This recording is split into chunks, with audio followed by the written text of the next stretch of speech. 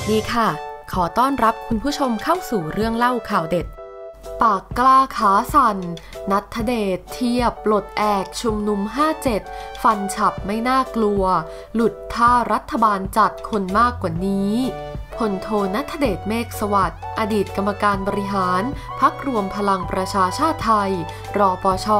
และอดีตหัวหน้าศูนย์ปฏิบัติการพิเศษ ศูนย์รักษาความปลอดภัยแห่งชาติ โพสต์ข้อความแสดงความคิดเห็น เกี่ยวกับการชุมนุมของม็อบปลดแอก ในวันที่ 16 สิงหาคม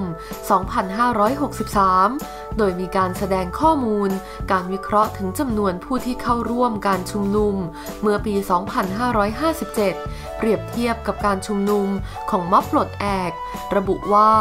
มาอ่านข่าวการชุมนุมวันนี้ของกลุ่มเยาวชน เห็นมีการระดมคนมามากมาย เกือบหมื่นคน ทั้งเวทีห้องน้ำที่ทันสมัย และอื่นๆ ผมก็สงสัยว่ามีคน อุปกรณ์มากขนาดนี้ได้อย่างไร มีทั้งคนเสื้อแดง ชายชุดดำ ชาวสลัม คนงาน ตามรายงานตำรวจ ถือป้าย เขียนช็อกที่พื้น พาดพิงกระทบสถาบันเหมือนเดิม เลยกลับไปดูเรื่องแบบนี้ที่เคยเขียนไว้นานแล้ว หรือมันจะเหมือนเดิมเดิมอีก ลองอ่านดูครับ ก็ไม่น่ากลัวเท่าไหร่ ถ้ารัฐบาลจัดมั่งน่าจะแยะกว่านี้หลายเท่าตัวครับ ด้านนายแพทย์วรงค์ เดชกิจวิกรม อดีตประธานเจ้าหน้าที่บริหาร พรรครวมพลังประชาชาติไทย โพสต์คลิปผ่านเฟซบุ๊กระบุว่า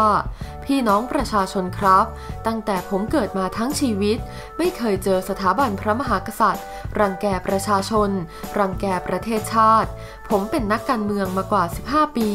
เจอนักการเมืองรังแกประชาชน รังแกประเทศชาติหลายครั้ง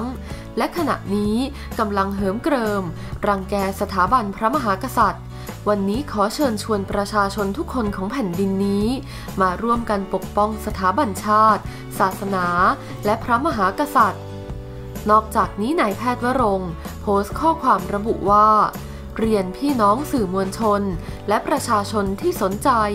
ขอเชิญชวนร่วมกิจกรรมแถลงข่าวเปิดตัว กลุ่มไทยพักดี ซึ่งจะเป็นองค์กรกลาง ในการรวบรวมประชาชนผู้พักดี ต่อชาติ ศาสตร์ กษัตริย์ ในวันพุธที่ 19 สิงหาคมนี้ เวลา 14 นาฬิกาณโรงแรมยูสาทรกรุงเทพ แล้วพบกันครับ ขอขอบคุณข้อมูลดีๆ จากแนวหน้า